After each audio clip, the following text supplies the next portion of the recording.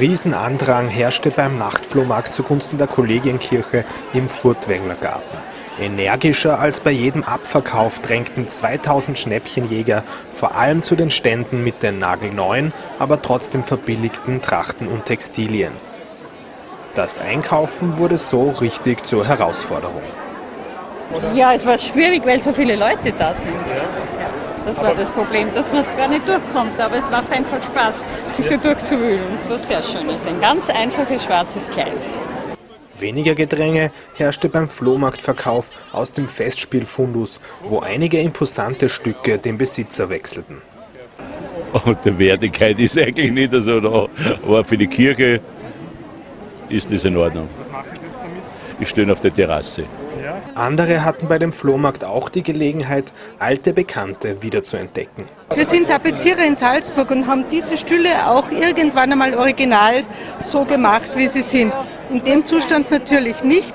Jetzt werden wir die renovieren und dann haben wir die Originalbestuhlung und werden sie wieder fachgemäß verarbeiten und schön machen. Einige Stücke hatten aber mehr als nur sentimentalen Wert. Wunderschöner Füller von Montblanc um 150 Euro statt 250. Eine Versace-Uhr um 550 statt 1000 Euro. Montblanc ist preishältig, da kann man, kann man nicht, äh, nicht meckern und nicht motzen. Wie schade, dass ich schon fast alle habe. Wirklich, aber Mozart noch nicht. Als Impulskauf war die Versace-Uhr aber dann doch nicht günstig genug. Für unsere Tochter habe ich mir gedacht, die kriegt ein Baby und jetzt dachte ich mir, ihr Mann kauft ihr eventuell die Uhr. Aber sie sind beide nicht da und ich möchte es nicht so über. Ich möchte es nicht so entscheiden, ohne dass sie es sieht. Aber schaut schön aus. Schaut cool aus. Wunderschön, wunderschön. Hauptattraktion des Abends war allerdings die Kollegienkirche, für deren Erhalt der Erlös des Abends zugute kam. Die eigentliche Idee war, um den Salzburgern auf eine andere Art die Kollegienkirche näher zu bringen und ihnen vielleicht einmal auf diese Weise bewusst zu machen, was für ein Juwel diese Kirche ist. Und jetzt werden wir hier regelrechte Stürmen. Menschen haben Sie das erwartet? Ne, Ich meine, das ist unfassbar, wie viele Leute da gekommen sind, aber es ist ja schön, nicht? Für diesen Anlass kam auch Landeskonservator Ronald Gobier vor der Aufführung von Amida noch auf einen kurzen Besuch vorbei.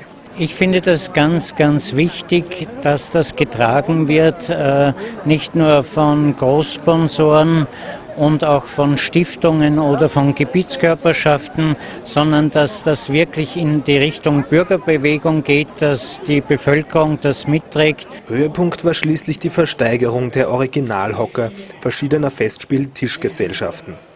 200 Euro brachte der älteste der drei Hocker ein, auf dem der erste Jedermann Alexander Moissi gesessen ist. Also meines Erachtens hätte er 300 leicht bringen können. Wegen der, wegen der Kirche oder wegen am Hocker? Auch wegen der Kirche. Um einiges begehrter war die Sitzgelegenheit von Jedermann Kurt Jürgens, die schließlich für über 500 Euro an den Designer Andreas Enzenhofer ging. Das ist eine ganz eine persönliche Geschichte, weil das ja mein erster Jedermann war, den ich gesehen habe in Salzburg. Und jetzt, ja, Kurt Jürgens.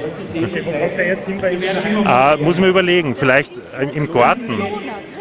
Ist und bei meiner Birke hinten unterm, als, Abend, als Abendsitz, wo ich mein Glas Wein äh, genießen werde.